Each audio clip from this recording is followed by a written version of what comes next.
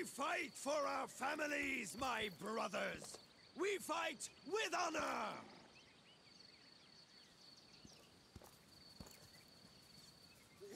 This